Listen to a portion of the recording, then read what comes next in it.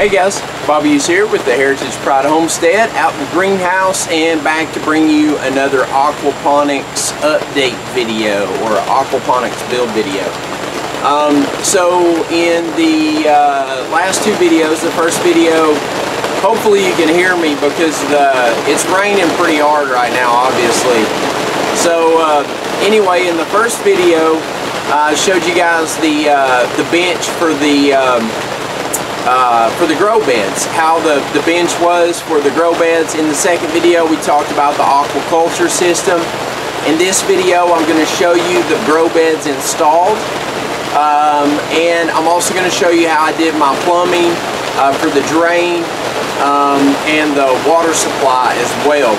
Then in the next video, I'll show you how to set up one of the grow beds with the auto siphon and the grow media and all that good stuff. So anyway, let me grab the camera and I'll go ahead and show you guys the, uh, the grow beds. Alright, so here are the grow beds installed into the bench system. And uh, I showed you in the, uh, in the bench video um, how the grow beds would slide in there, but here's how they're actually attached and I'm just using a uh, stainless steel wood screw with a stainless steel flange. And then I place those all the way around it. And uh, that's just to uh, hold it securely in there so that the bed doesn't twist or or anything like that. It holds it nice and tight. Um, then of course you've got the two rails in the center. You can kind of see them there the supports and then we have a bulkhead uh, in the front here and that is for the um, it's a three quarter inch threaded bulkhead and that's where the auto siphon will actually siphon out of. Uh, now you could use a uniseal if you wanted to but I chose to use a bulkhead because it to me it seems a little bit more um, I guess sturdy and or um, project you know uh, works for this application. Um, this application I think a bulkhead is more fitting than a uniseal um, but anyway so that's that. Now uh, let me take you underneath and I'll show you the drain. Alright so underneath here there's our bulkhead right there. It comes down uh, just just a hair. I mean it's just a nipple basically uh, to connect the uh, bulkhead to the drain to this 90 here. So there's a three quarter inch 90 and then that shoots back and then hits another three quarter inch 90 and then because this one is the last one on the run it drops into a two inch 90 degree sweep here. Uh, and then our main drain is a two inch drain. And where each of the uh, auto siphon drains are, there's a T, two inch T, um, and it just, you know, goes all the way down through there, all the way to the end, and each grow bed has a T for the drain to drain into. And then at the end down there, it not I had to notch out a little bit of the uh, sump tank, and then the pipe just lays on the top of the sump tank and drains back in.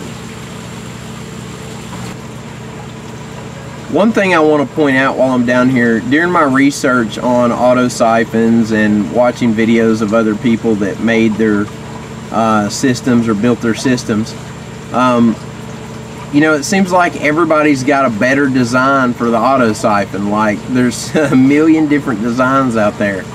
And we'll talk about the auto siphons in the next video, but in this video I just wanted to point out um, one thing that I I would I would say just for physics to work properly. Um, I would say you you need some form of 90 here because if you have a straight, if you just let's say your uh, your drain over here, this this big drain, this T was right here underneath this. Um, to drain straight down, I would think that um, as far as physics are concerned, uh, it would it would inter interrupt or uh, mess up the way the auto siphon works. Um, and so in everything that I read, uh, and everything that I researched, they had at least 190 in it. So 190 degree bend somewhere in it. Now you could go a 90 and then a straight pipe and then drop into your uh, sump tank if you wanted to, if you wanted to drain each individual one. But I've seen people say, oh, just use 190, uh, you need to use 390s, you need to use all this other stuff. I'm using 290s. I have no drop really uh, from the bottom of the bulkhead to here. I mean, it's an inch and a half maybe drop. I'm 90 in there, going straight back and then 90 and down again. And so far in the one grow bed that I've had running now for a few days, um, there was no issues so far. The auto siphon is working perfectly. And so, uh, just an FYI, um, I don't think it's necessarily that important to follow uh, the instructions um, on, you know, people's idea of what they think needs to happen in order for an auto siphon to work properly. Um, but I would recommend at least one 90 degree turn, one 90 degree bend. And I've seen people use them with 190 degree bend and it works. And I've seen them use 45s and 90s and three of them and all this other stuff. And those work too. So maybe it's not that important. But I think for physics, as far as physics are concerned, you need at least 190 in there. And that kind of, I, I would say it kind of keeps from breaking the seal um, of the siphon once it's running. Uh, keeping that 90 in there puts a little bit of back pressure on the drain um, to uh, slow down the siphon enough that it doesn't uh, create an air bubble um, and stop the siphon. Alright, so down on this end, back at the sump tank, this is where our two inch uh, main drain comes out for the uh, drains for the grow beds. Um, right here, you said just kick it out right into the sump tank and um, it does, it's done fine just like that. No issues at all. Um, and it's, so far it's handled um, the rate of both the one grow bed and the duckweed bed going non-stop, no problems. So I'm hoping that the two inches is enough for the rest of the beds, uh, but I think it will be. So now we'll talk about the supply of water to the uh, to the system itself. So in uh, in the last video, I showed you guys this manifold that I built um, to supply the water to everything. So basically, um, nothing's really changed on that. It's still a one inch manifold. The only thing that happened was I had the Jebao uh, 9,000 liter an hour jobby in here. Um, magnetic drive pump. Anyway, the pump went out on me. Uh, the company that I bought it from on eBay actually replaced the pump, no questions asked. But I was afraid that it was going to take a while. I was afraid I was going to have to send the old pump back before they sent me a new one, blah, blah, blah, all this other stuff. So I jumped online and I ordered another one. This one is actually a 15,000 liter an hour pump. So this pump, you can see the little pump controller here. I've got it on uh, number two. and right now I'm running two Venturis and one of the grow beds um, and it's it, it's not even phasing it. So um, so far it's doing good, and I can turn that pump way up. That pump will be more than enough. Um, but my kind of theory behind it is you're not only looking at liters per hour, you're also looking at lift. This one's got like five meters of lift. It's ridiculous. But um, it's also not taxed out right now. So it's, you know, I could run this, I can run my entire system full wide open, you know, all, everything that I've got and still probably never, you know, max the, the amount of what that pump is capable of. But in return, that keeps that pump from wearing out. And so that's, uh, that's the reason for having such a big pump. Um, and those pumps, if you're curious, I've got them on the Heritage Pride Marketplace. Um, you can go on there and check those out. It'll be under the hydroponics and the aquaponics um, uh, menu lists or whatever uh, subcategories. So you can you can check those out on there. So the, the water's pumping the water up into the manifold. I've got one line here that runs over to the Venturi on the um, on the biomedia filter, the moving bed filter. It just runs out and over to that. The other one here, um, right now, it's not glued in. It's just temporarily placed in there. This water hose here is my, because I'm running the cycle, the water needs to be warmer. Like you want your water in about the 90 degree um, range, uh, high 80s, low 90s. Um, and that allows that bacteria to start to brew basically. And so this is my attempt at a solar water heater. I've got a black rubber hose and I've got it stretched out in the sun. And then I'm just feeding water from the sump tank through the hose really slow and getting warm water back uh, through the hose. Um, it does work. There's definitely warm water coming out of it, warmer than what's going into it. Problem is, is that that amount of water is so minimal compared to the 200 plus gallons of water that's in the system right now. And so it really doesn't uh, put a dent in it, honestly. So I'll probably actually unhook that later today. But it was an attempt at a cheap way to run a little solar heater. Might work, um, you know, in other applications, but uh, it's just not enough for this system right now in this application. So that's what that one's for. Um, so that's also running on that pump right now. Um, then on this next one here is running our Venturi for the uh, duckweed bed. Uh, we're just blowing some oxygen and cycling water into the duckweed bed. Doesn't take much um, to do that.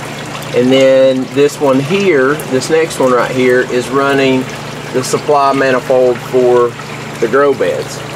So all I did was I, I, just reduced it down to three quarters of an inch right out of the out of the manifold there. And then I'm running three quarter inch 90 to a shutoff, 90 to a shutoff, so on and so forth. So each grow bed has its own uh, controller to control the amount of flow. And then I went ahead and put one on this one. Um, I didn't know, you know, it's always an experiment to see how this kind of stuff will work. So I didn't know about the duckweed. You know, we don't know in the future what that'll consist of. So I went ahead and put one there. So if I wanted to, I could take this duckweed out of here and convert it over to a actual grow bed. So anyway, I went ahead and put one there. So that's the water supply, and then of course we've got the one that runs back over to the Venturi on the fish tank. So anyway, that's the supply system. Alright guys, so that's pretty much it for this video. I'm trying to keep the videos a little bit shorter uh, just to keep the, you know, audience retention there or whatever, I guess. Uh, but anyway, uh, so you don't have to take in so much information at one time if you're trying to follow along with this series. I'm going to try to make the videos a little bit shorter and more uh, directive toward uh, what we're working on. So instead of just calling them vlogs or whatever, I'm actually going to title the videos um, so that you know you can kind of see uh, which video is which. So for this video, it'll be the plumbing and drain system or grow bed uh, water supply and drain, you know, something. Um, anyway, so that's that's pretty much all there is to it. Uh, the grow beds went in really easy once I, you know, got the screws and everything just plumbed everything together. It's just simple PVC construction. There's nothing fancy about it. Um, and so far everything is not leaking, everything's draining properly, so I would say so far we're a success. Um, so anyway, that's pretty much it uh, as far as that's concerned. In the next video, we'll go ahead and go over the uh, auto siphon and how that works and the components that I'm using for that. It's a real simple design. Um, I'm not following the guidance of any of these, uh, the best uh, auto siphon, better auto siphon, all this other stuff. I'm using just a simple plain Jane auto siphon and it works. And so if you're looking for simple, that's the video to watch. So that's going to be the next video in the series. We're going to we're going to do the auto siphons.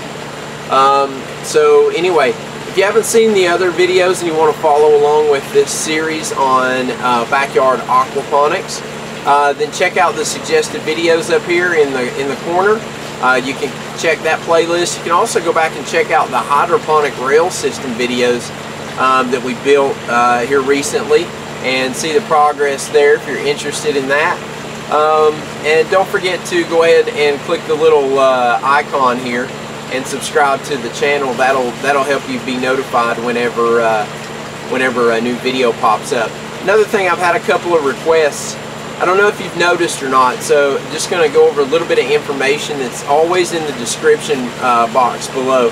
So in the description, you'll always give a little short narrative on what the video is about.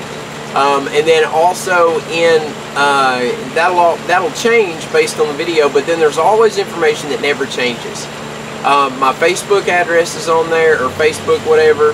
Um, I'm also on Instagram, so you can look me up on Instagram. It's not uh, Heritage Pride Homestead on Instagram. It's actually Hughes Brothers Build um, on Instagram, but I've got it in the description below there, so you can follow me on Instagram.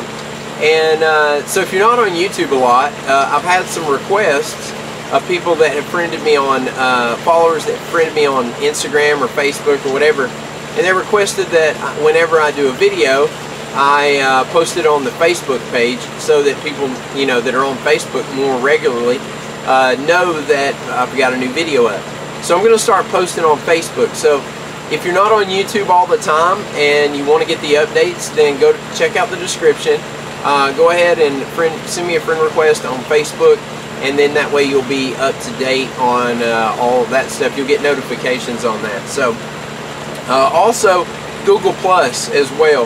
Um, Facebook automatic, or not Facebook, uh, YouTube automatically uh, uh, comments on my Google Plus account saying that I've uploaded a video. So if you've got a Google Plus, you can friend me or whatever it's called on Google Plus, and uh, that'll give you a notification as well when new videos pop up.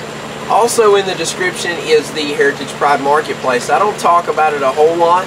Um, but whenever I'm doing these projects, the marketplace is, is, is up and running. Um, everything is not on there yet, but as I go, I, I add more things to the marketplace. So you can check out the marketplace. It's ran by Amazon. Um, so if you have an Amazon account or Amazon Prime, you can go on there. You can order from Amazon through my um, the Heritage Pride Marketplace, Homestead Marketplace. And it's just a little bit of a revenue kickback for me but it's more convenient for you to not have to search. I can go on there and put exactly what I'm using when I build these systems um, on there. And then that way all you have to do is go to that if you're looking for something specific that I'm using in my system um, so anyway, that's the marketplace. You can check that out as well. Otherwise, that's about it. Um, so anyway, guys, I'll check uh, catch you on the next video when we go over the auto siphons. Until next time, get out there, shoot some guns, be safe, and most importantly, have fun. See you guys later.